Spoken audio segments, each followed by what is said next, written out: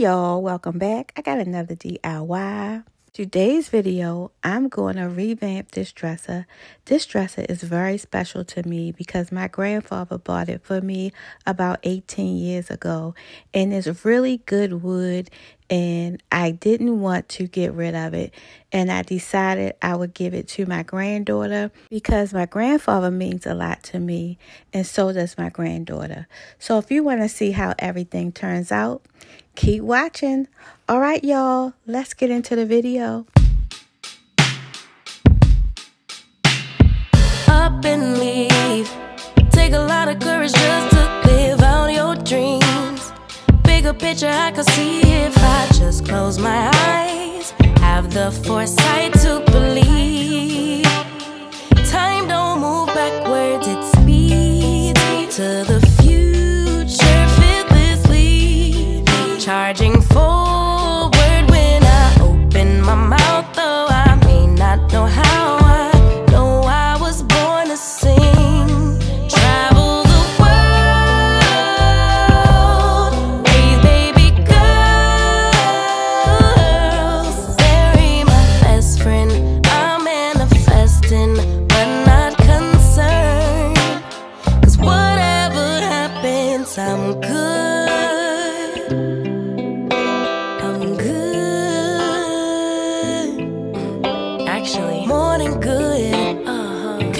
great. Uh-huh. Even on the bad days, I thank God for making me brave. So I'm pretty much done. I used three coats of paint. I let it dry overnight and I painted the drawers off camera.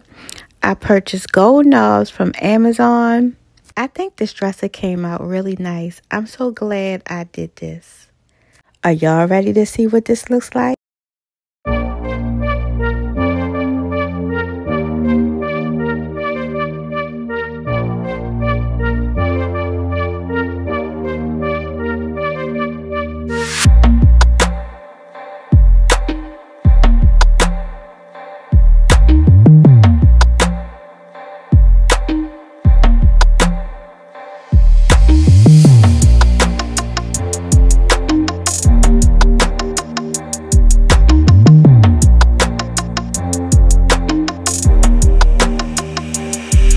All right, y'all. Thanks for stopping by. Like, comment, and subscribe for more from me.